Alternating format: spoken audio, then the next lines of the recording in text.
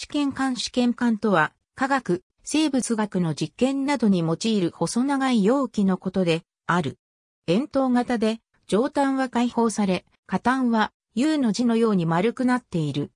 下端が V の字のように円錐状なものは、スピッツ管と呼ばれている。試験管は、少量の資料を取り扱い、その中で操作、反応させ、結果を観察、処理することを目的として作られたものである。大きさは長さが数センチメートルから20センチメートル、直径は数ミリメートルから数センチメートルである。直火にかけて内容物を簡単に加熱するため、パイレックスのような熱膨張に強い材質が用いられることもある。一般に口のところを加工していないものを直口、耐久度を高めるためリング状に肉厚にしてあるものをリム付きという。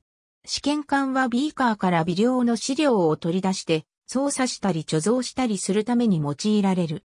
例えば2種の薬品を2つのビーカーに取り、それぞれからピペットで定量を吸い取り、試験管に流し込んで反応を観察するという風に使う。その時に試験管に入れる水の量を5分の1から4分の1にする。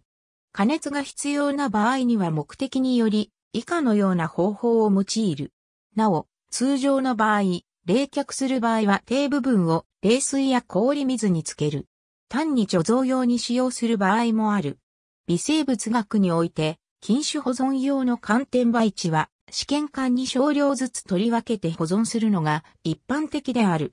試験管に入れた滅菌後の寒天培地を垂直の状態に整地して固めたものを構想培地、斜めに放置して固めたものを斜面培地、構想と斜面の中間程度の傾斜をつけたものを反斜面培地と称して微生物の株を保存するのに用いる。試験管を振るときは上部を持って小刻みに振るようにする。試験管は科学、生物学その他、様々な分野で広く使われる基礎的器具であり、その使用を助ける周辺機器が多数存在する。あるいは内部を乾燥させるため、専用の器具を用いることが多い。主に硬質ガラスやパイレックスガラスが一般的だが、石英ガラス、金属などでできたものもある。試験管は科学的な処理をする際に最も基本的な器具として認知されている。そのため、科学的な操作のもとに作られたといった印象を与えるための表現に試験管が